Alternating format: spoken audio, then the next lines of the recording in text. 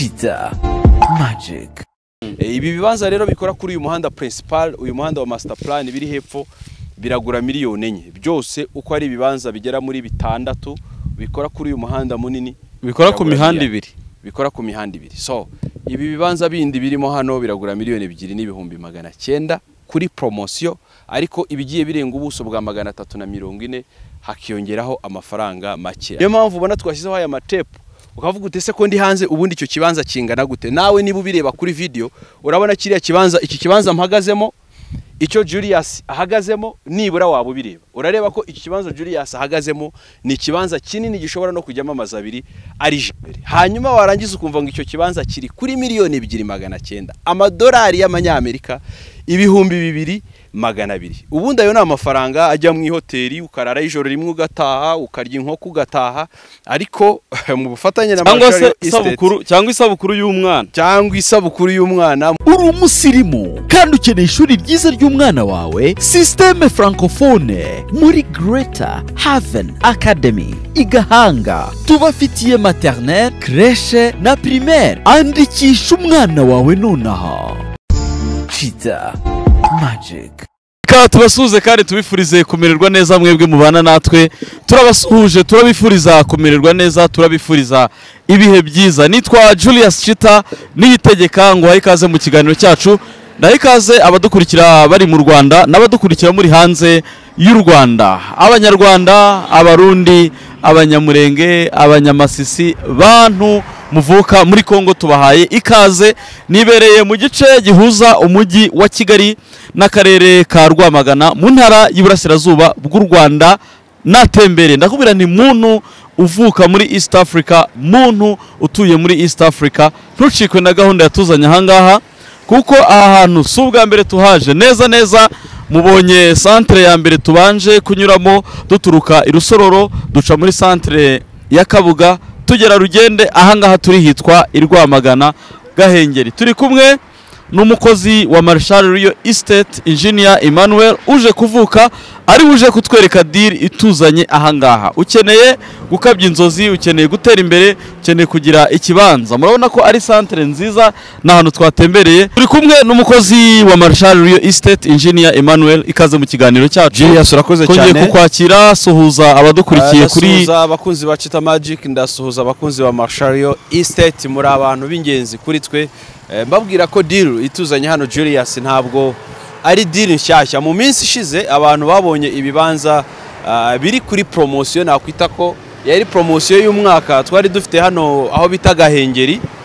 Ah, site yari igizwe n'ibibanza mirongo ine n'icyenda yaguzwe mu gihe kitarenze iminsi itatu. Abantu barakomplayininga bati no no no muduhe andi mahirwe. Amahirwe rero yandi twabahaye niyo atuzanye hano. By'u- by'umwihariko aha duhagaze ni muri centre yo ku Isumo. Abatazi ku Isumo batazi Kigali neza iyo uvuye Kabuga eh, kugira ngo ugere hano n'imodoka ni iminota nk'itanu. Ni ukuvuga ko uramutse utaha hano mu gihe waba uguze ibibanza hano kugera i Kigali mu mujyi Nyarugenge waba ukoresha tike ya magana arindwi gusa ku modoka. Ibibanza rero bimeze bite? Ni ibibanza byiza cyane. Biri muri site nk'uko tugiye kubireba kandi site ifite abaturanyi ifite neighborhood. Ahantu hamaze guturwa hatunganyije harimo imihanda hateye borne harimo n'amatepu muraza kubireba uko muri kubireba kuri video. Ni site ya mbere dutunganyije mu buryo tuvuga ngo ifite umwihariko. Ibibanza bihari ni ibibanza bike bibaze makumyabiri na bine biraza kubonwa gusa na ba bantu mukorera imbere kuko bamwe mutinda ngo nzaza ejo nzaza ejo bundi ntabwo biri bukunde. So uyu musozi niwo tugiye guterera hano imbere gato uvuye hamagaze kuri kaburimbo ni ibirometero bibiri ukagera kuri site. Site ibibanza biri muri range ya miliyoni ebyiri magana cyenda eshatu eshatu n'igice miliyoni enye ni aho ngaho. Ubwo rero ab'inkwakuzi twagiye tubereke neza umuhanda ugerayo ubundi ibindi tubivugire ku bibanza Julius urakoze cyane. Mbere y'uko tugera ku bibanza hari ikibazo nkunda kubaza mba nshaka kubariza abantu badukurikira. Hari abantu bavuka hano muri East Africa bavuka mu Burundi bavuka muri Congo bavuka mu Rwanda bavuka n'ahandi hatandukanye ariko uyu munsi bakaba badafite indangamuntu cyangwa se ibyangombwa by'u Rwanda. Birasaba iki? Umuntu ufite ibyangombwa byo mu kindi gihugu kitari u rwanda kugura ubutaka hano ese birasaba iki? Ubwo navuga umunyamahanga umunyamahanga icyo bimusaba kugura ubutaka hano na square meters na conditions zijyanye n'ibyangombwa bisabwa kugira ngo umuntu atunge ubutaka mu rwanda. Ubwo nabariza ababa hanze y'u rwanda. Ibi navuga ko noneho ari amahirwe kuri abo bantu badafite ibyangombwa byo mu rwanda kuko ubundi iyo ibibanza biri mu buhinzi ntabwo umuntu biba byoroshye ko ubwo butaka bwamwandikwaho. Hari process ndende bisaba. Ariko ibi bibanza tugiye kureba mbere na mbere mbibutse ko biri muri R1 ni ukuvuga ko ni ahantu ushobora kubaka inzu ya kadasitire cyangwa inzu ya etaje ubaye ubifitiye ubushobozi. Ikindi mu biciro ku buryo bw'amadolari nari mvuze mu manyarwanda bihera kuri 2200 dolari amadolari ibihumbi bibiri na magana abiri. Hano ushobora kwafodingamo ikibanza. Ku munyamahanga rero cyangwa indi nshuti y'u Rwanda iyo ari yo yose yifuza kugura ikibanza igatura mu Rwanda iyi deal irashoboka kuko ni ikibanza ugura tukagukorera mitasiyo kikandikwa ku mazina yawe. Waba uri umunyarwanda waba uri umunyamahanga kubera ko hari ibi- ibibanza biri mu miturire birashoboka cyane. Waba ukeneye ubutaka bunini bwo bigenda gute? Iyo ukeneye ubutaka bunini burenze ikibanza kimwe eh, na byo biremewe dushobora kugufasha kubona icyo twita investment certificate ni icyangombwa gitangwa na RDB na conformity letter ubundi ukagaragaza ishoramari ryawe ushaka gukorera mu Rwanda ibibanza bika- bikandikwa ku mazina yawe.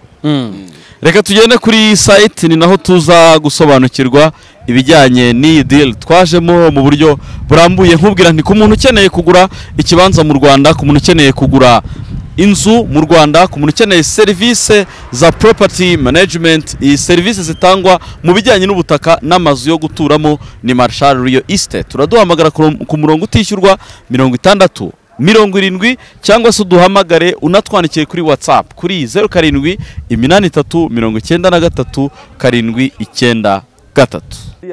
Site twayigezemo ah, iyi ni site nk'uko nakubwiye ifite ubudasa paraporo cyangwa se ugereranyije n'andi masite tumaze iminsi tubaha uyu ni umuhanda principal nyabagendwa icyo twita umuhanda wa master plan munini cyane ukoreshwa n'ibinyabiziga byinshi bica hano bigenda rwamagana bigenda gahengeri ku murenge ah, ibigenda hariya ku nganda ziri hano imbere aha ni ahantu hatuwe nanone wenda kuri kamera baraza kubibereka hano haruguru ni amazu meza cyane ari vip site rero igizwe n'ibibanza bike ariyo mpamvu twavuze ko ab'inkwakuzi ari bo bagomba kuba babona amahirwe yo kwibonera. Hari n'uburyo bushya mwazanye usibye borune mu kibanza buri wese noneho ubu ngubu arabona neza uko kireshya. Ubu ngubu bushize abantu bazaga gusura ibibanza muri marshal yoyisete avuga ati si cyanjye kiva he kikagera he.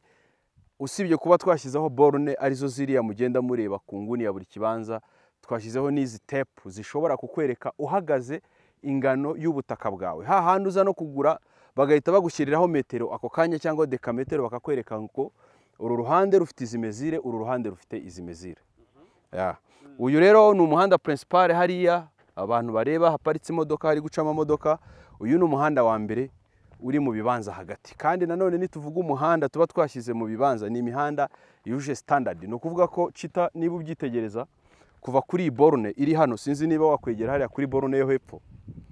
Hagati yanjye nawe hagomba guhita huzuramo metero icyenda. Iyi ni borune iri hano haruguru. Hanyuma iyo borune uhagazeho hagati ya borune n'indi hagati y'ikibanza n'ikindi harimo metero icyenda zuzuye. Ntabwo ari ya masite mujya kuguramo ibibanza ugasanga n'imodoka ntishobora guparika ku ruhande ngo indi bibisikane. Bafashe agasuka bagenda. baharura baharura ngo baciye imihanda. Iyi ni imihanda ariko icyo mbona ndi kubona aya makamyo atunda imicanga n'amabuye. Ubanza hano hantu muri iyi karitsiye harimo diro Ah, iyi karitsiye harimo kubakwa cyane ikindi ah, ni ahantu n'ubundi haboneka ibikoresho byo kubaka ibijyanye n'amabuye imicanga biraboneka cyane. Niyo mpamvu ubona harimo urujya n'uruza rw'amamodoka. Dushobora wenda kunyuramo hano hagati kugira ngo tugere ruguru ku mpinga y'umusozi ahitegeye neza. Ibi bibanza ariko wenda kuri kamera abantu bari gukomeza kugenda bareba za mezire n'ibindi. Twongere tuvuge igiciro. Igiciro hano ikibanza kiragura ngahe? Ikibanza kiri mu zihe kondisiyo? Ese ni ukubera icyo umuntu uri kutureba nonaha? Akwiye gufata icyemezo. Impamvu umuntu urimo aratureba none hakwiye gufata icyemezo agomba kuba azi sitarateji n'imikorere ya marshariyo isiteti turi ba bantu batavuga ngo ibibanza ngo twabikase ngo bizamara ukwezi ku isoko. Ntabwo bishoboka. Impamvu bidashoboka ni uko tuba twashyizeho diru y'ibibanza biri affordable cyangwa se ibibanza tutigeze twifuza mu buryo bw'ibiciro. Ni ukuvuga ko ikibanza hano uramutse ukiguze uyu munsi kuri miliyoni ebyiri magana cyenda. Nyuma y'ibyumweru bine ugomba kuba ukigurisha miliyoni eshatu n'igice. Ibi rero nta nubwo ari ukugura ibibanza gusa ahubwo ni, pati cyangwa se ni bimwe mu bintu abantu banakora nk'ubucuruzi. E, ibi bibanza rero bikora kuri uyu muhanda principal uyu muhanda wa master plan biri hepfo biragura miliyoni enye. Byose uko ari ibibanza bigera muri bitandatu bikora kuri uyu muhanda munini biragura miliyoni. bikora ku mihanda ibiri. So ibi bibanza bindi birimo hano biragura miliyoni ebyiri n'ibihumbi magana cyenda kuri poromosiyo ariko ibigiye birenga ubuso bwa magana atatu na mirongo ine hakiyongeraho amafaranga make. Abantu baraza kugenda babireba no muri grafike igaragara kuri videwo cyangwa se kamwe tubasharinga kuri watsapu kabafasha guhitamo nimero y'ikibanza runaka ku buryo ah, babasha kwibonera neza uko ibintu biteye. Hanyuma iyo twaje mu bibanza buri gihe ngomba kubaza avantaje cyane cyane z'umukiriya kuko marshal iyo estate yo iba yaje nk'utanga serivisi ariko ije gukemura ikibazo sosiyete ifite kugura iki kibanza cyegereye uyu muhanda. Bifite iyihe nyungu? Kurusha kugura iki kibanza ngezeho kiri hagati y'ibindi. Uh, uguze kiriya kibanza cyegereye umuhanda uriya ni umuhanda wa- navuze ko ari uwa master plan uba uteganyijwemo kujyamo kaburimbo mu gihe cya vuba. Ni ukuvuga ko Julius ushobora kuhakorera ibikorwa by'ubucuruzi. Ku muhanda principal birumvikana ushobora kuhashyira amazu y'ubucuruzi ushobora kugira ibindi bintu ibyo ari byo byose wahakorera kubera ko ari kuri main road. Niyo mpamvu uhifuza namubwira ko harimo avantage cyangwa harimo itandukaniro ari na yo mpamvu biba biri ku mafaranga menshi eh, par raporo n'ibindi. Mm. uko dukomeza kuzamuka ahangaha niko twitegeye imisozi ya rwamagana nk'umuntu washyira hano apartments etaje ya nivo ubwo ni uguhera kuri ebyiri kuzamura. Yaba afite avantaje nawe ikomeye cyane ndabona hari n'amashuri. Ariya ntabwo ari amashuri ariya ni amazu abantu batuyemo. Eh, uyu musozi uratuwe Julius. Niyo mpamvu navuze ngo twegeremo hano haruguru. Amapoto y'amashanyarazi be bavuze ngo ese ku bibanza hari amazi n'umuriro? Hano hano amazi n'umuriro birahari eh, muri ibi bibanza. Amapoto urayabona kuri buri muhanda.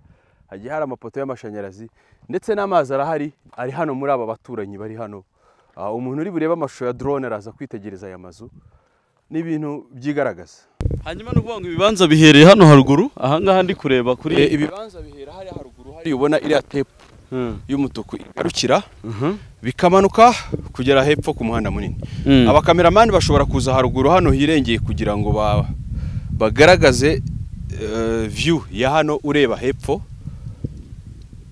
urabona hano ni gahengeri ku murenge aho imbere gatoya Mm.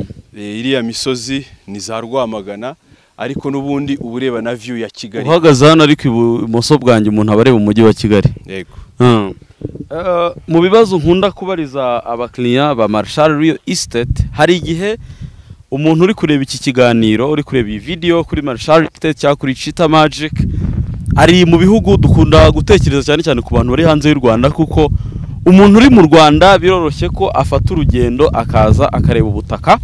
Ariko hari wa muntu uri muri amerika hari wa muntu uri muri canada hari wa muntu uri mu bubirigi uri mu bufaransa wa muntu uri za zambia mozambique uri za south africa za nigeria n'ahandi. Ariko w'umunyarwanda ushaka gukora investment iwabo cyangwa se ushaka kubika ubutaka mu buryo bw'inyungu ariko uwo muntu akaba atabonera amafaranga rimwe.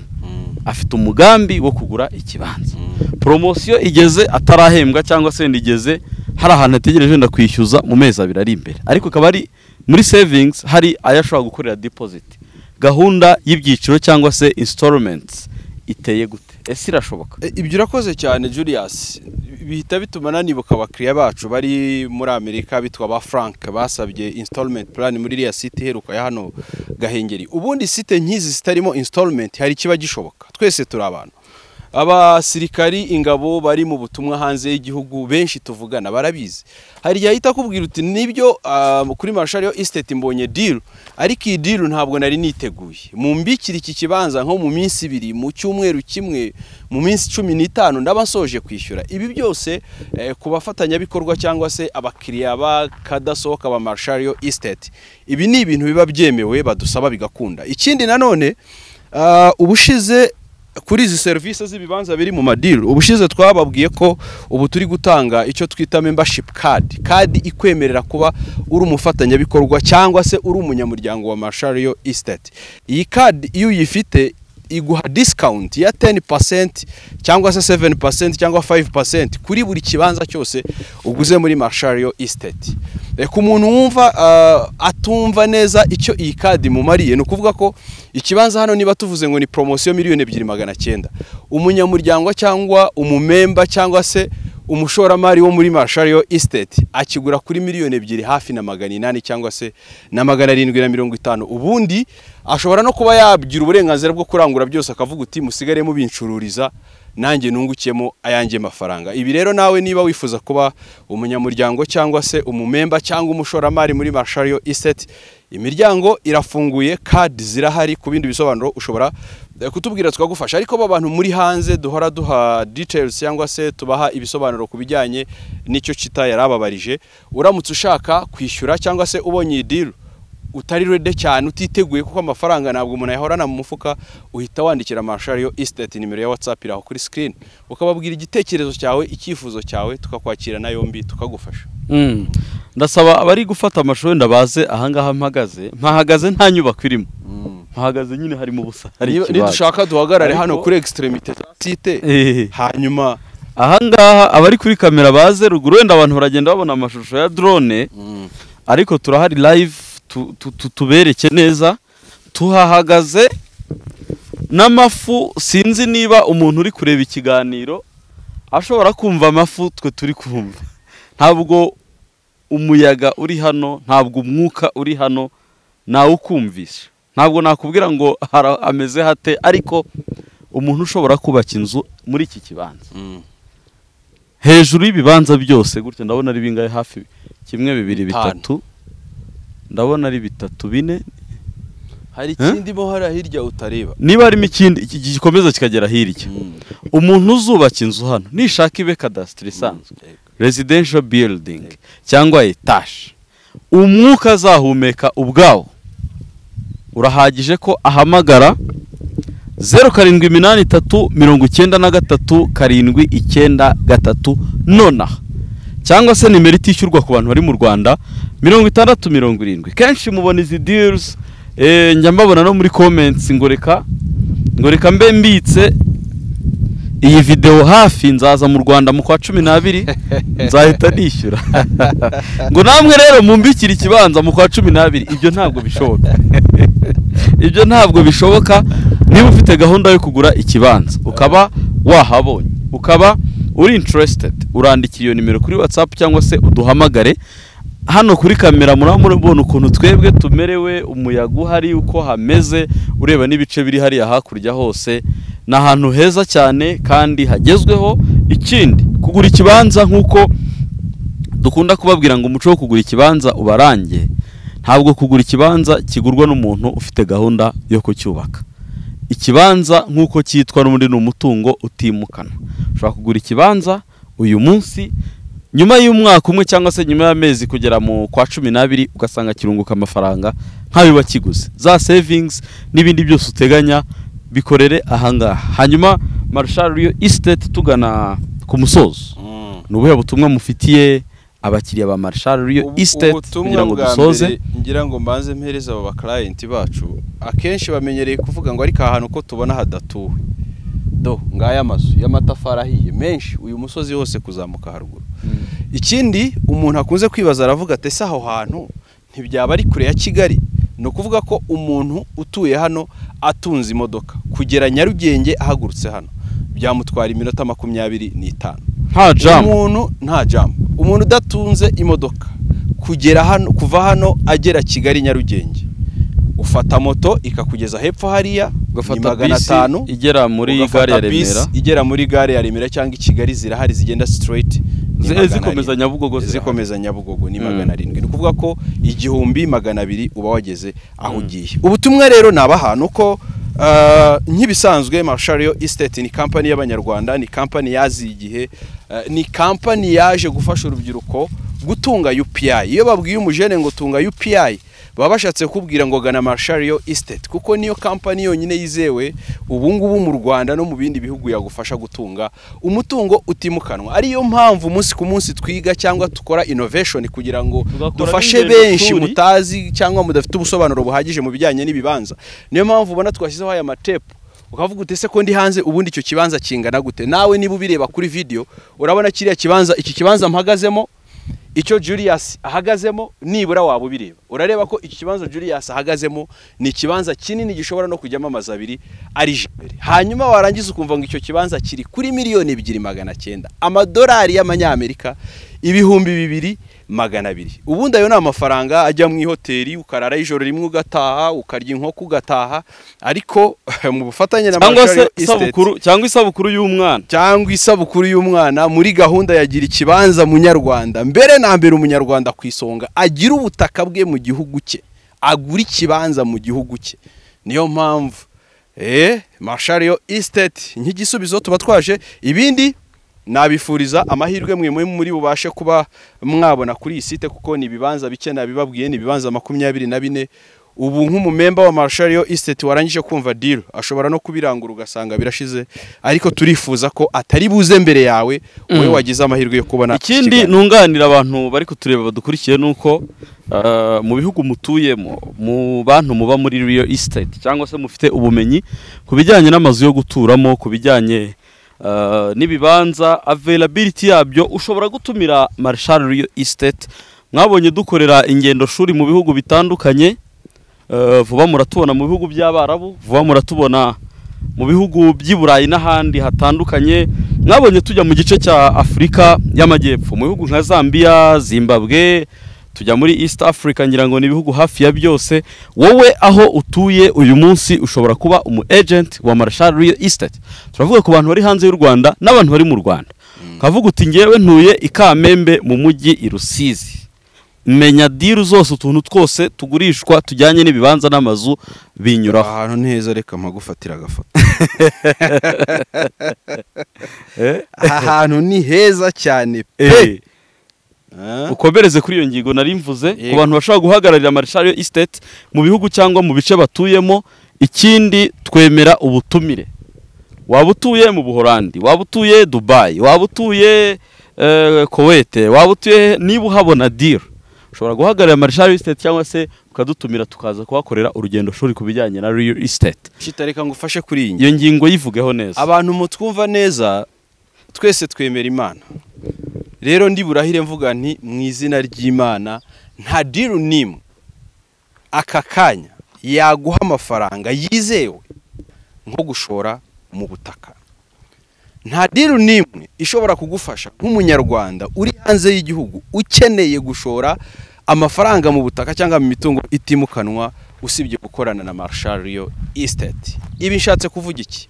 Nk'uko Julius yarabivuze ushobora kuba uri aho uherereye aho ariho hose uvuga uti jyewe nshobora kuba umu agent wa Marshario Estate. Kuba umu agent wa Marshario Estate waba ukora nta bindi ni uko uvuga uti iyi site y'ibibanza makumyabiri na bine Marshario Estate ishyize kuri promosiyo aka kanya mfite abandi bavandimwe tubana hano hanze y'igihugu ngiye kubyereka kuko wasanga wenda bari mu kazi video batayibonye ukabibereka bakagura ubu ni nk'umu agent tukugenera percentage. Nagiye ntanga urugero ku mu agent wacu uri mu Bufaransa.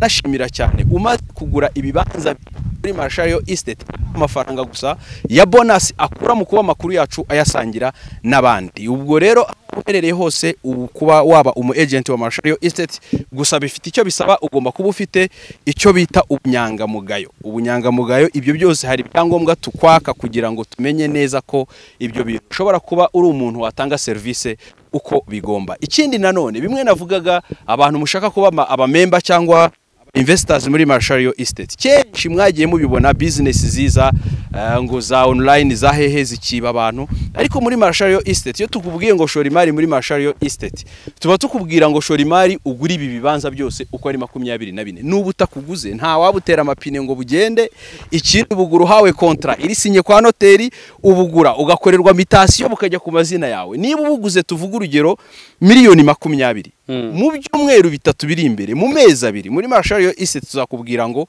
ubu bidding yabwo umukiriya uri gutanga menshi arimo aratanga miliyoni mirongo itatu. Nubyemera tubugurishe nubyanga gumane kuko ni ubwawe twebwe icyo twunguka muri icyo gihe ni commission cyangwa se percentage uduha nk'abantu bagukoreye deal yakunguye. Ubwo rero ibindi Julius twasoza numva abumva vuba business ubu bamaze gusobanukirwa ibyo ari byo mu kanya turaba tubereka n'indi site iri rusoro iyi ni site y'imiturire. Aha munsi ahantu hagenewe amashyamba hatuma abatuye hano bashobora kugira akayaga no guhumeka neza mu buryo bufatika. Kuri kamera bashobora kujya hasi bakazuminga kiriya cyapa kiranga site wenda kugira ngo eh, baraza kubyerekana no kuri drone abantu baraza kubona ibyo ari baraza byo. kubona. Julius ngewe akazi kanjye nagatoje abakiriya bawe ari abagura. Ubu mu gitondo baba bageze hano. Ibisobanuro birahari n'iki kiganiro ubwacyo kirahagije ariko ukeneye ibyimbitse urareba nimero twapininze hasi ubundi uduhamagare tuguhe ibisobanuro birambuye. Naho ubutaha. Ciao. Cheetah Magic.